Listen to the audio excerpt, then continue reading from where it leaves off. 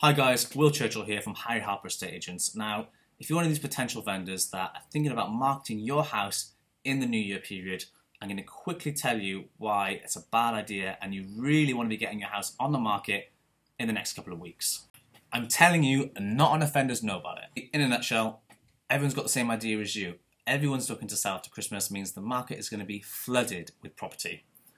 Zoopla and Rightmove have confirmed the highest traffic rate to their website is between Christmas and the New Year. Now, if you put it on in January, you're going to miss a huge potential market.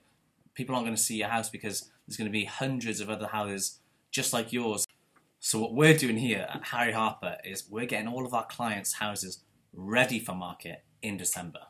We'll be launching them all on the 21st of December. So make a quick note of that date because that's the date you want your house on the market. At the very latest, you do not want to miss the Christmas and New Year influx of traffic. We'll be open all through Christmas, taking all of the leads, getting everything booked in, viewing starting in the first and second week of January. Now, that's going to be huge potential.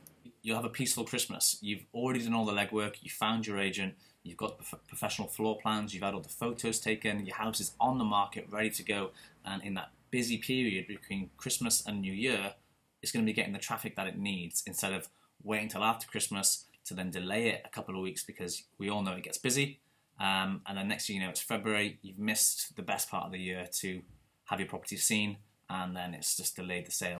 So if you are one of those potential vendors that is looking to put your house on the market after Christmas, after the new year, in the January season, please don't wait.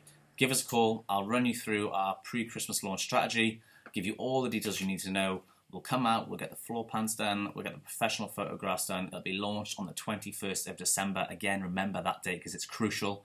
You'll get all the traffic through that busy period of after Christmas and the new year. We're open throughout Christmas, making sure we don't lose any of those potential leads. Viewings will commence first couple of weeks of January, and by the end of January, our aim is to sell your house.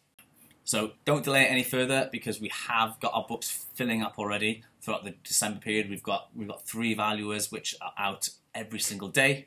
Um, just give us a call. We'll get you booked in at the earliest. We'll suit your needs as best as we can, and we'll get things going for you.